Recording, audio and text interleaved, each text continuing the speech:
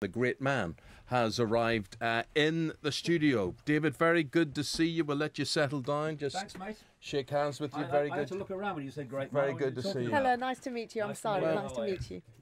David, there is so much obviously to talk about, and um, you know, the, the interesting thing is, even you, you and I. So, sorry, you're in the wrong chair, aren't you? We've got, we've got to Am put in the you over wrong there chair? because yeah, because Story we're my gonna life. get you over there. David and I now. used to work at the BBC together uh, in the, the, the late eighties, and the um, the unfortunate thing for him and the really good thing for me was, of course, you fell out with the BBC, No, they fell out with me. and I got your sports shifts. I got your A- snooker apparently shifts. saying um, uh, the economic system is uh, destroying the uh, environment was um, incompatible with Ian Rush scored a hat trick. Mm, and that was that. Yeah, I'm And I- glad though. Glad it happened. Well, how amazing! If it hadn't have happened, you could have been sitting here, and I, I'd have been unemployed. Yeah, and I, I, I would have long taken the pill if I'd have continued in that industry. yeah. And it's interesting you say about that industry because, you know, that's just one of the many things I want to talk to you about. That industry, that is the media, that is broadcast, and there are limitations to that. And you know what? The older I am and the longer I'm in this business, you've got regulatory bodies which say what you can't say and what you should do. Don't start how, me. How we control. I do- want to start you. I do want to start you because I think whether you agree with this man or not, and I think I think you just have got to listen to what he says. You listen to what he says, and then come away and judge judge for yourself after that. Right. So, media. What's broadcast? What's allowed to be broadcast? Well, um, I've been writing in my books now for nearly 30 years that there is a plan to make Orwell's 1984 reality. Um, and we're seeing this, of course, with more and more con- uh, uh, control of uh, people's privacy and, and the constant um, gathering of fine detailed data of people's lives. But the key thing is this what directs people's lives? What directs their opinions? What directs their behavior? Their perceptions. Their perceptions of themselves, their perceptions of the world, their perceptions of world events. The way they're sold those events. Yeah. Now, this is the point. Where do we get those perceptions from? We get them from information received. It might be a personal experience information, or it might be the 10 o'clock news, or it might be the Daily Mail, or something on Facebook. The point is, if you um, control the information that people receive, Yeah. then you will, to a vast extent, dictate their perceptions, especially if you also censor, suppress, and marginalize other people giving another fix, another version of the same event or the first situ- uh, same situation. Now, I've just come back um, literally a few days ago from America. I'm, I've been filming there, and particularly Silicon Valley. I call it the devil's playground. If you now look at that, what is when you visit it, a very small area of America, never mind the world, you've got companies that are Facebook, uh, Google, etc., that are increasingly a dominating um, the gathering of data of people's lives. B, because of the way they have so impacted upon the uh, channels of communication, they dictate to a such a, an increasing extent what people see and what people don't see. Let me interrupt you there. I need to say something to you.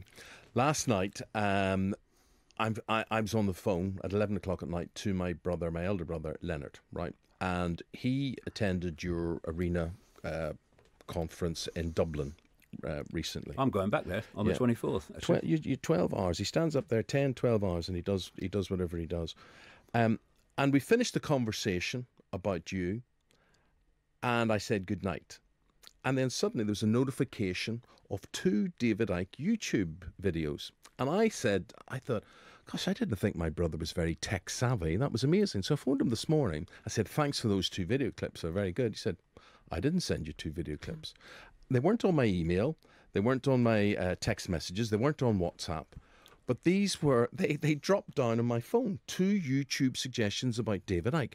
Why did that happen? It's very simple. Um, I, I've um, come across many, many stories like this. In fact, to such an extent that um, Facebook has had to uh, say, actually, we're not doing it on purpose or it's just for advertising. They are actually listening to conversations. Um, obviously, you've not got a, a human being sitting there.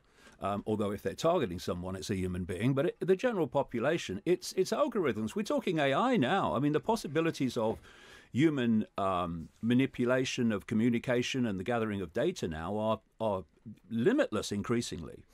And what happens is when because many people have had conversations about, say, a product.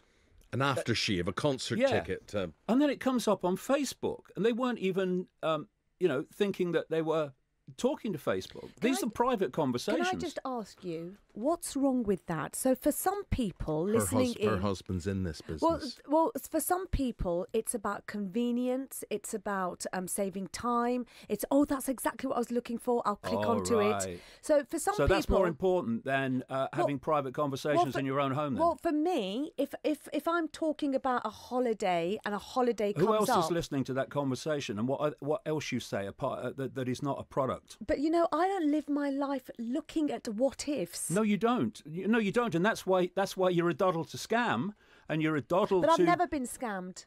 How do you know that? How do you know Well, that? but because I haven't, I well, so, what, so, what's so the if, a pro- if a product uh, comes up and you buy it, you haven't been scammed. well, I made the choice to buy it.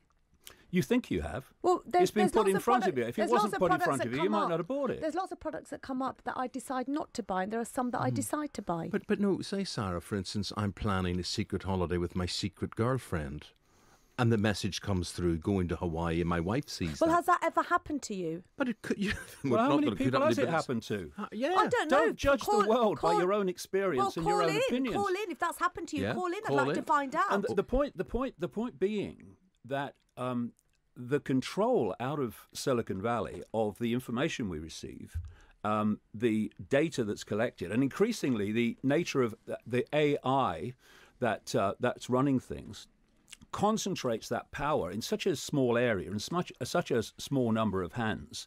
Um, and if you um, want to have um, control by the few of the vast number, you have to centralize power. And that's what is happening in Silicon Valley on a scale that beggars belief. Could that happen on a scale to affect elections, whether those be the US presidential elections or the referendum, the European referendum? Well, it, it, it, it, anything's possible when you have algorithms that can filter out um, information that's not good for the uh, agenda you have or the outcome you want and emphasize information that does support the outcome that you want. And increasingly, it's coming to light that this is what's happening. See, when um, the internet started, and which which came out of uh, uh, an organization called DARPA, by the way, which is the technological development arm of the Pentagon. Um, it was sold as the free flow of information. You could you could uh, post all kinds of opinions. Now, if that didn't start like that, and and right from the start is you can't say that, you can't do that, then it wouldn't have got this uh, this massive uh, control and uh, and um, um, and influence on the communications that go on between people. So you start with what people want. And then, especially more recently, you and faster and faster, you start um, doing, especially when you, you, you enter the realm of semi monopoly, you start taking away the freedom of the free flow of information. So uh, people now are having YouTube channels just deleted. No explanation, just deleted. On a, on a big scale, when they're challenging the official narrative. Facebook um, uh, censor people. They have a thing called ghost banning, where you actually get to post it, but the AI makes sure it doesn't go anywhere. And, and when you have the power to do that, coming back to perception, you have the power to control the information that people receive and thus massively influence the perceptions that they have. And from their perceptions comes their behavior, comes what they will accept, what they won't accept, what they'll challenge, what they won't challenge. It's, it's an extraordinary uh, centralization of power. And you know, people are saying, I love Trump, I hate Trump, and, and, and oh, it's the right, it's the left. And, and, and this, this, this vaudeville show, which it is in so many ways, is so focusing people's attention on that. It's everywhere, isn't it? Trump's everything. and people are not looking what's happening in that area of real estate in California where all this is going on. Uh, David, good to have you here. Good. Um, what about that's where we go next? Trump, America. You were in America last week. You're filming. You're updating um, your documentary Renegade, uh, which is all, which is you, which is what you are. Uh, what about President Trump? Is he a renegade? Um, he, I think he's a, a, a, renegade in the eyes of many people who who voted for him. Um, and you know, when when I see um, what is called the progressive left um, attacking uh, Trump and saying um, it's terrible what's happened, I say to them, look in the mirror. Because the reason that someone like Trump could come to power, the reason uh, that um, these parties are coming to power in um, in Europe, is because so many people have been left voiceless for so long. For instance, if you um, have what is called political correctness, and we were talking earlier about censorship and what you can hear and what you can say. Political correctness is simply manipulating the population to silence itself.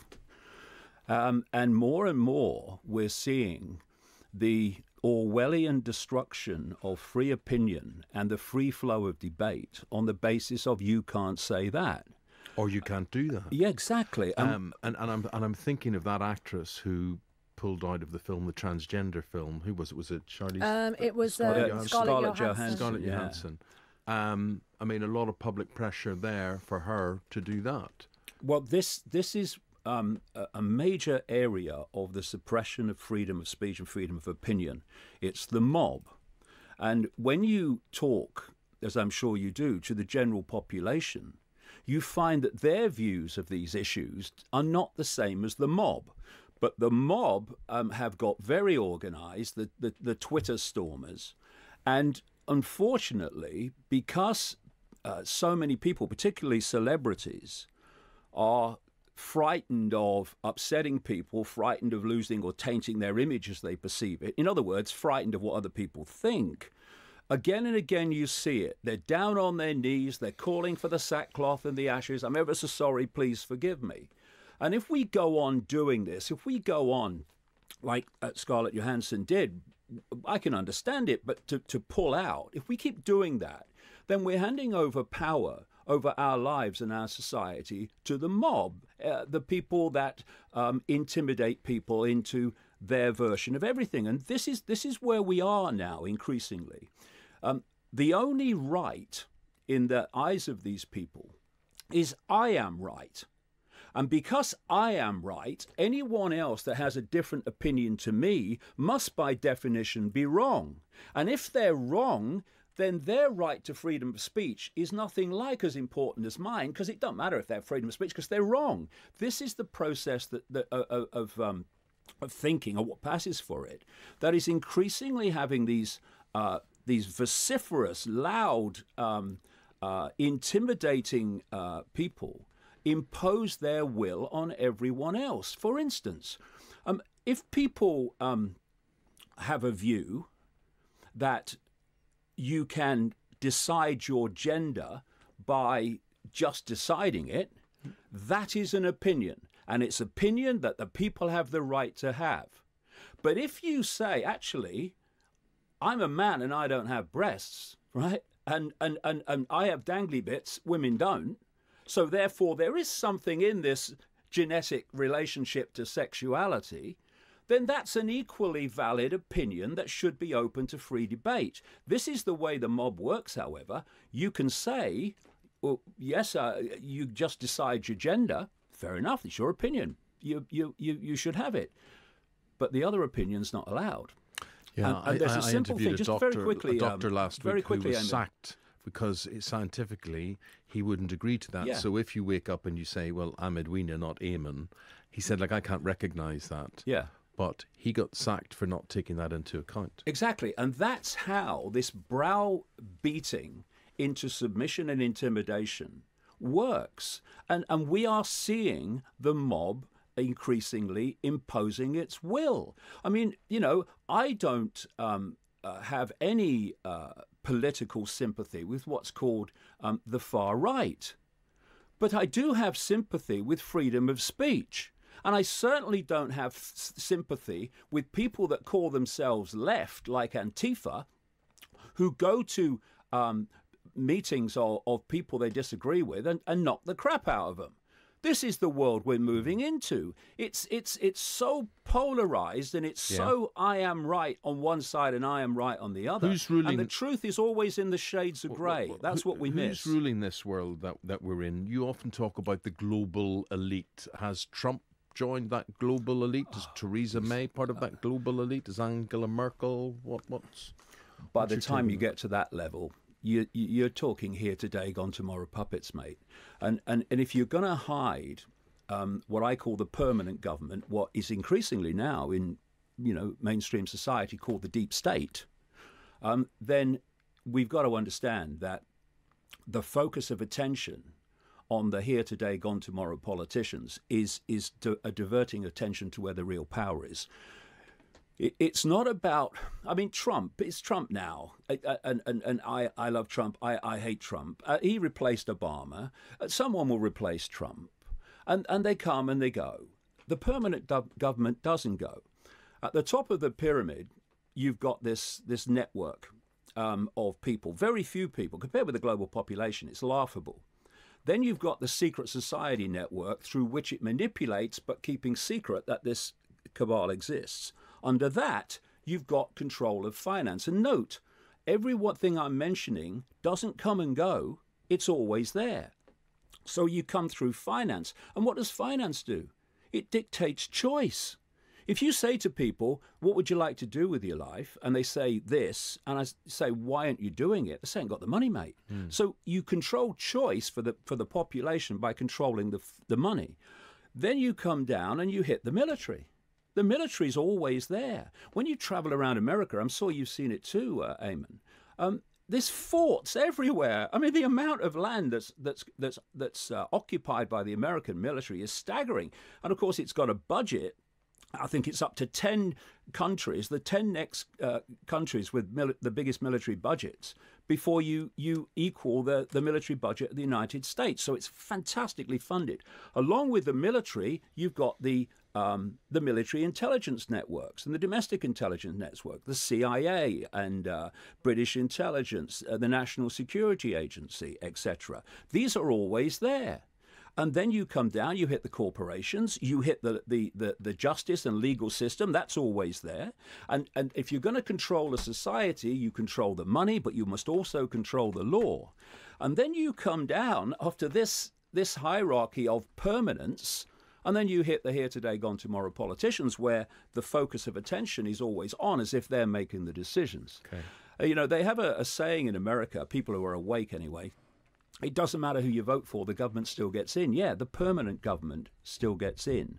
And that's what's running the show. And that's why, if you look across um, the, uh, the, the, the, the, presidencies and the prime ministers uh, uh, uh, uh, in different eras, um, the same basic agenda kicks on whoever's in power. And um, very quickly, if I've, I've got time before the, uh, the news, um, So you haven't forgotten look, done. no, I'm not. Good memory. Look, look at democracy, right? Yeah. We're talking about the here today, gone tomorrow politicians. How does it work? In almost every country, there are two parties that have any chance of forming a government. Sometimes three, m- mostly two. America, Britain, etc. Um, so you vote for Party A, and you don't like what, the, uh, uh, and they get into power. You don't like what they're doing. The only way to get them out is to vote for Party B. You vote for Party B, they get in. You don't like what they're doing. Why? Because basically it's the same thing because the permanent government is dictating it, not them. So, how do you get rid of Party B? Uh, you go back to Party A, and it's this this A B A B that we call democracy. I was in Ukraine in uh, uh, 2010, I think it was, and the president of Ukraine, Yanukovych, was the same man they threw out in the Orange Revolution in 2004 because the Orange Revolution put this other man in. He he took power. They didn't like what he did, and when they wanted to get rid of him, Yanukovych, who was removed in the uh, in the uh, the so-called revolution, was still leading the other party. So he gets back in. Now, this is the madness, and we call it choice. John, David's listening. Hello, good evening to you all. Hello, Is it John. good Hi. afternoon, I'm confused. uh, good afternoon to you. Um, what I'd like to know, David, um, because I'm with you on this, especially with the internet and its control, how come we can't tell people? You, you see, way back when, when I was on CB radio, you know, I was always careful. I was always told not to say too many things. Um, how can we control this? Because I think unfortunately, we're going to end up with a serious backlash. And I think at the, the, the end of the day, people will go back to using CB radio. People will go back to using CB, uh, rebelling against this. John thinks. Well, that, that, that does happen. Uh, that, that kind of stuff does happen in America, where there's a lot of stations like that. But of course, they don't they don't police the um, uh, the frequencies quite so much as they do in Britain, which is very much harder here. Uh, what what um, the internet has done up to this point is to give um, a vehicle for alternative narratives to circulate. And uh, like I say, what is happening now is those vehicles are being systematically um, removed. And you have to ask when people say, "Oh, is there a conspiracy?" Uh, all that stuff. Well, why, why, why would giant corporations, etc., like the internet corporations, why would they want to censor people's opinions just because they're different to the mainstream narrative? There has to be a reason for it. And, and when you put um, all the other stuff together, uh, all the deletion of channels, all the gathering of, of, of, of fine detail of, of, of private uh, information, you can see Orwell's world unfolding. And by the way, um, Aldous Huxley's Brave New World, which becomes more and more into fore, along with Orwell. To, up to this point, it's been the Orwellian police state and surveillance and control, but now we're seeing the the genetics, the um, the manipulation of um, of of the human body, even coming in, which is what um, the uh, Brave New World and Aldous Huxley was talking about, and that came out in 1932. And you know, uh, in my books, I um, I quote a guy, the, the one before the last one called Phantom Self. I quote this guy at, le- at length, and it was in 1969. His name's Dr. Richard Day. And he was a big time Rockefeller family insider. The Rockefellers are in this uh, network. Um, and no one knows why he did it, but I'm glad he did. Um, he stood up at a meeting of, of pediatricians in Pittsburgh, Pennsylvania, because he was in the medical profession. And he asked them to turn off recording equipment and he asked them not to take notes because he was now going to tell them how the world was going to change because what he represented, he was only a gopher for it, mind, uh, was going to change it. And what he said that night in 1969 is absolutely stunning. Which uh, was? in the sense of the world that we now live in detail. And you know, one of the things he said in 1969? We are going to make boys and girls the same. Interesting. And, and I many saw a news report that- last night where that they, are happening now. Yeah, that, that they were doing that. They were taking uh, no gender references in the classroom. it, it's if you if you if you people read what he said in 1969, it is a a jaw dropper Okay. when you look at the world today. That means very quickly Mm-hmm. that there is an agenda. It's not happening randomly. Right. Well, let me ask you, David Icke, why are you here on this planet? Do you think? I mean, what is what is your your mission? Are you a prophet? Are you a conspira- uh, conspiracist? Are you a preacher?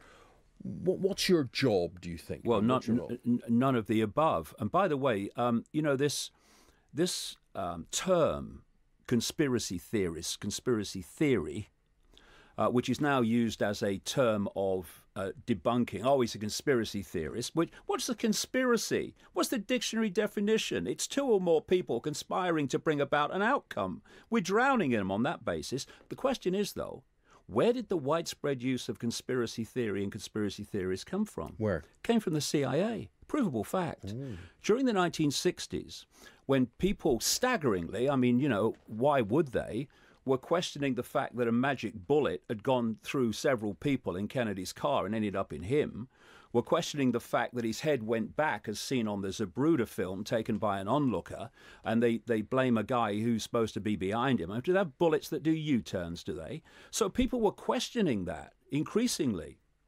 And the CIA put out a document. You can still, I published it in one of my books, um, to the major media in America, giving a list of things to use to discredit those that were questioning the Kennedy assassination. Of course, later Martin Luther King and, and the, the others of the 60s. And among them was use the term conspiracy theory and conspiracy theorist, because what does that do? It gives the idea that it's only theory. Now, do conspiracy theories exist? Of course, because you say, well, looking at the evidence, uh, you know, I, I think this is probably what happened. That's a theory. But if people read my books, uh, a couple of them, one of them's a thousand pages, one of them's not uh, the uh, not much smaller. You see enormous amounts of interconnecting evidence, not least from insiders and whistleblowers and, and what have you. Because once you do what I do, people people are attracted to you to get the information out. You see, it's not a theory. Um, it's it's backed up by substantial fact, but you can destroy all of that in one word or one phrase. He's a conspiracy Can I can I can I ask you? You're a young lad from a council estate in Leicester. Yeah. How and when did you start thinking the way that you do? Because you see the world, you do see the world in a different way. Right. I connect with that partly. I, I get that because I don't like following rules. I don't like to be told what to do. I like to find an alternative way. But you've taken it to a different level. Yeah. H- How did that happen to you? Well, you don't have to um, go far outside the norm to be on a different level, frankly. But you are on a different yeah, level. but but just very quickly, um, we're talking about this this programming of perception.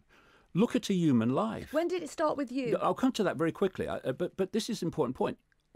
Look at a human life. You come out of the womb, and you're immediately um, influenced in your perceptions by your parents who've been through the process you're about to go through. Very soon, ludicrously soon, after entering this world, you find yourself sitting at a desk with an authority figure now telling you what is, what isn't, what's right, what's wrong, uh, uh, what's credible, what's not credible, when you can go to the toilet, when you can eat, when you can talk. And this goes on through your formative years, where the system's version of everything, what I call the postage stamp consensus, because it's so narrow, is downloaded into people. And then they go off into the institutions. They become journalists, they become scientists, they become doctors, they become politicians, they become CEOs or whatever. And they take with them that core version of normal they've been, and limitation possibility that they have been downloading all their lives. And then the people in these institutions then confirm to each other that this norm is normal. So a, a journalist who's doing a story about, say, um, a, he- a health situation won't go to an, a, an alternative practitioner who may have had great success in it. He'll go to a doctor who'll give him postage stamp normal. So you don't have to go too far out Beyond of the, the norm. postage stamp to be considered Yeah. wacko.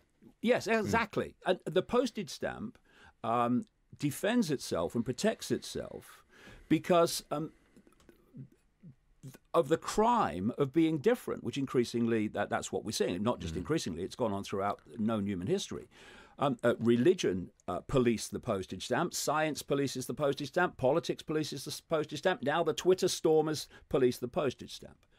Um, but what happened to me um, was I was minding my own business. I mean, as as, as Eamonn said, I was saying, "Hello, good evening. Um, here's the sport," um, and uh, then um, during 1987, no, 1981, uh, 1982, no, what was it? Uh, trying. Oh yeah, no, it's 1988, 89.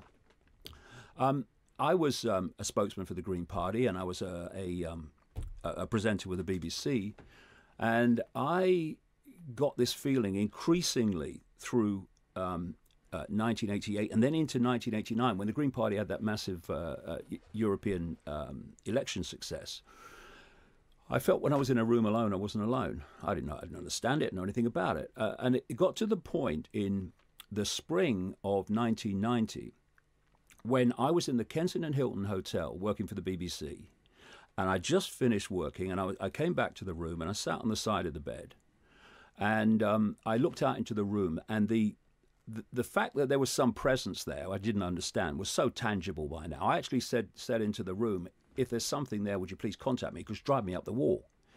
About um, uh, maybe a week later, two weeks later, I um, I was with my son uh, Gareth, a little boy then, and um, he went into a, a newsagent shop. Cut a long story short, and I and I he was looking at the books, and I went in after him. It was at Ryde on the Isle of Wight. The shop's still there, And um, I said, I said to him, um, "Come on, Gaz, we'll go up in the town and get some lunch."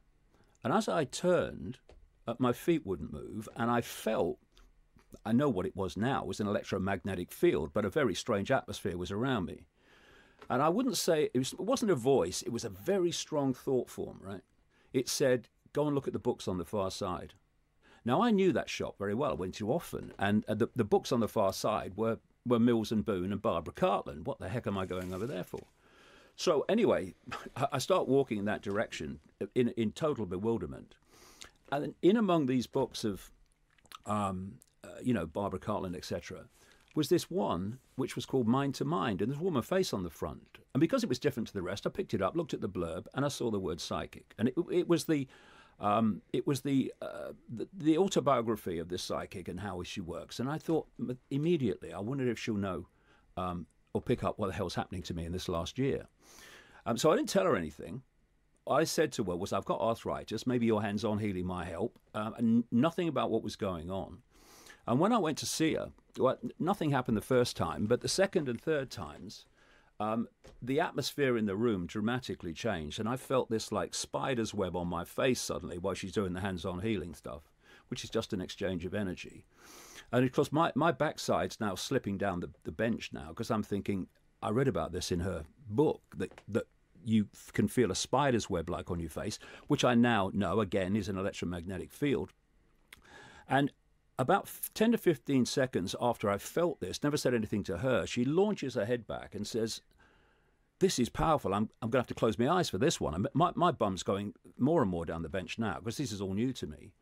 And in the next like 10 minutes, and again a week later, that was the last time I went, um, she was telling me that she was being told to tell me that I was going to go out on a world stage and reveal great secrets. Uh, one man cannot change the world, but one man can communicate the message that can change the world. That I was going to face enormous opposition and ridicule and, and, and, and stuff, but uh, they, whoever they are, will always be there to protect me. Now, I came out of that um, not exactly neutral, but well, we'll see what we'll, we'll see what happens. But what has happened since? All that she told me and more has, has unfolded in the most synchronistic way, like some force I've been walking through a maze, and some force has been opening and shutting the doors to um, uh, send me down the channels. And right to this day, that's how it's come mm. about. If I'd have done this just by trying to work it out, no chance. But mm. because of the synchronicity of the information coming to me, um, I've been able to put this stuff together. I've got to go to the break, but can you tell me in 15 seconds who they were who would always be there? no idea i've always uh, i've always just gone with my intuition does this feel right or doesn't it feel right and that is they a god? That, is they no, religious? Not, no, it's not. No, it's not. It's an energy force. It's a it's a it's it's a form of consciousness. It's uh, it's not some bloke with a beard sitting on a throne. I mean, you know that whole religious. What thing. we're fed. Yeah, what we're fed. It's consciousness, and and and we are a point of attention within an infinite consciousness. This is why racism and self identity with labels of race and religion, etc., is so ridiculous. It divides and rules, rules us. They are just experiences for our point of attention, okay. awareness to uh, experience. Love him or loathe him, agree or disagree uh, with him, David Icke uh, does his research. Um, he knows what he's talking about. He believes what he's talking about. Whether you believe it uh, is another thing. And actually, David, we're getting a lot of uh, interesting complimentary uh, texts and tweets coming in about you. People certainly enjoy listening to you. Whether they agree or not is, is a different thing. And what you do and I know you talk about this, is you join up the dots. Right, you do yeah. your research and yeah. you look at links that either the rest of us don't do or people don't want us to to think about. That's the point. If you if you look at things in and of themselves, world events, people, corporations, whatever, they look a certain way. See the connections between them. You stop seeing pixels, you start seeing pictures, and then the world opens up. Right. It's opening up in all sorts of ways artificial intelligence being the latest thing we're hearing or talking about. You, are you worried about that? Should we be threatened by that? I, have written extensively about this um, because it's the end game. Up to this point, human perception, which otherwise human control by controlling human perception, has been done by controlling information that people receive. The AI endgame uh, which they're openly talking about in Silicon Valley. People like the Google executive Ray Kurzweil openly. Um, this is why so, uh, so, many people recently have come out and said, "Hold on, where are we going?" Uh, uh, about connecting the human brain or the human uh, body uh, thinking processes, the human mind, to AI. And what Kurzweil says is that after this connection, which he's talking about 2030, that's what he's given. We, I'm talking in 2018, that once the connection's made, the AI will do more and more and more of human thinking until human thinking and the human consciousness, as we would conceive it, is, is in his words, negligible. Now, if you um, are controlling um, AI, you are turning people into a basically a computer terminal on the AI internet. And what's happening, bringing it to topical everyday today uh, situations is is people are being manipulated through something that I call the totalitarian tiptoe. You know you're going to Z but if you go in too big a leap to Z, then people are going to say, What's happening? Because the change is so great. So you go as fast as you can from A to C to E to whatever. And every step is presented as in and of itself and not connected to the other steps. But if you break it down and you connect them, look what's happening. Stage one you get people, particularly the young, because they're the adults in the world that that uh, at, the, at, the, time this is supposed to come in. Um, you get them addicted to technology that they hold, holdables. You then, because uh, you want to get in the body, you then go on the body. You do your Google Glass, you do your uh, Apple Watch, you do your uh, Bluetooth. And now, uh, uh, uh, next, and it's happening now, you go in the body with, with microchips. And not only microchips that you can see, but nano microchips, which a CIA scientist told me uh, in the late 90s was coming, which I put in my books at the time. And people said, that's, that's, that's ridiculous breathing in microchips. That's impossible. Not, it's not with nanotechnology, it's not. Uh, exactly what he told me is happening. And the idea, which is what we're being manipulated as a global society to do, is to connect our thinking and emotional processes to AI so the human mind becomes AI.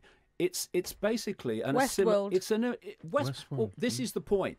Uh, this is an important point. There is a, a method of perceptual programming that actually has a name. It's called um, uh, what's it called? Uh, basically, it's um, programming an a, a an understanding or a, a, an awareness of something before it actually happens. And what happens is you put out in movies and television programs yeah. the world you want to go into because yeah. if you don't, yeah. the division between what people are living and where you're going is so great that that division, that uh, chasm, will get people to say what's going on.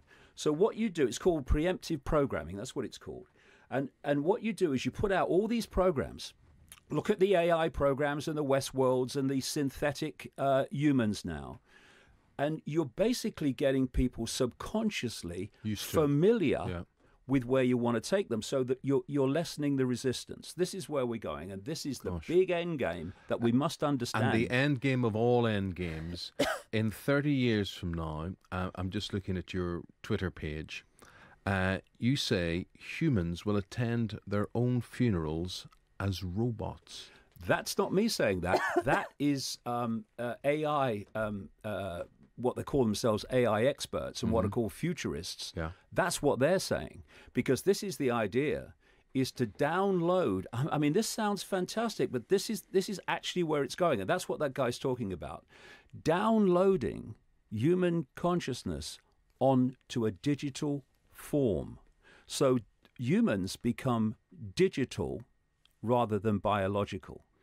I mean, th- you you couldn't uh, you couldn't um, uh, think of something more far out except that that's what's happening, and in, and that that in in the way that he wrote is what Aldous Huxley was talking about in Brave New World, the time when there were no longer um, humans, not even human procreation, mm-hmm. not even male or female, but a very different type of human, and and all, this this explosion of transgender which is fusing the uh, perception of sexuality, that is taking us down the totalitarian tiptoe to um, to this world that I'm talking about. Well, David Icke, you are certainly a very different type of human. Uh, long may you continue to tease us, perplex us, educate us, inspire us, infuriate us, whatever you've done. Uh, you've done it very well for the past hour. Really That- appreciate that, it. That's very kind. Thank you very much. Thank you, Thank you David. very much indeed.